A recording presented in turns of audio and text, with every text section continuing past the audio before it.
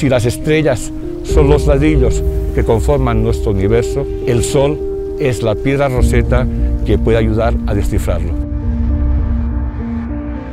Igual que vivimos en un planeta activo, también tenemos que asumir que convivimos con una estrella activa.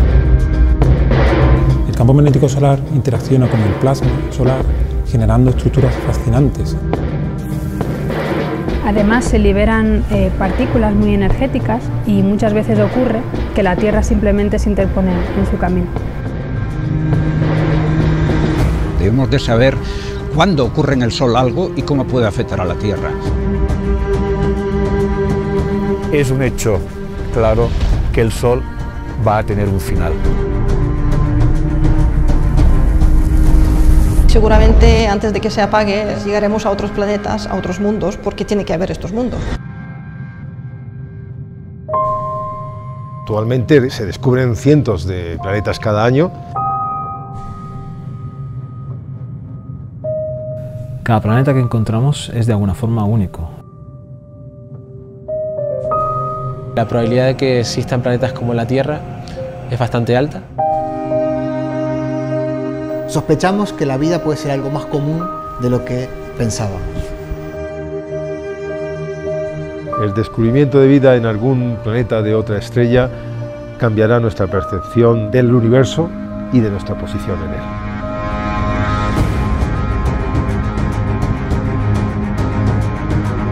En el universo hay muchísimas estrellas. Las estrellas no viven y no brillan eternamente.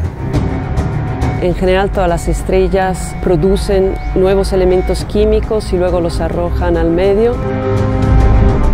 Las estrellas que conocemos en la actualidad han sido producto de generaciones anteriores de estrellas.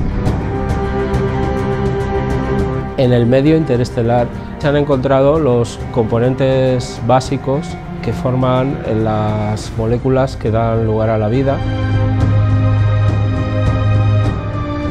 Somos cenizas de estrellas. Todos los átomos que contiene nuestro cuerpo han formado parte alguna vez de una estrella. Cada uno de nosotros es de hecho una pequeña pieza de, del universo. Vivimos en una galaxia que se llama la Vía Láctea. No podríamos no estar interesados en estudiar la galaxia viviendo en la Vía Láctea.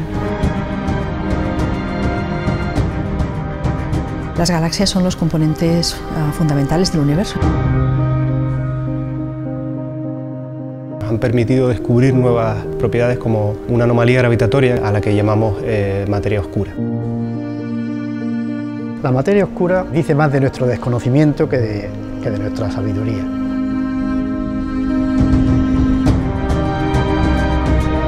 El universo es todo lo que nos rodea.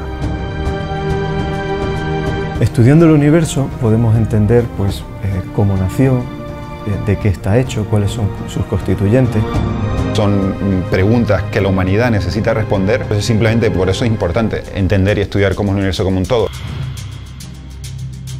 El modelo cosmológico actual da una descripción extraordinaria. Sin embargo, no es completo. Necesitamos una teoría unificada de la gravedad y del mundo cuántico. Con astropartículas de, no queremos unificar eh, la física de partículas y la astrofísica. Se estudian partículas muy energéticas que son testigos de eventos extremos que ocurren en, en, en los lugares más, más energéticos del universo. Estudiando física de partículas eh, podemos remontar a los orígenes del universo, podemos estudiar el universo cuando se estaba formando. Es decir, la astrofísica de altas energías es la ventana que nos faltaba por abrir.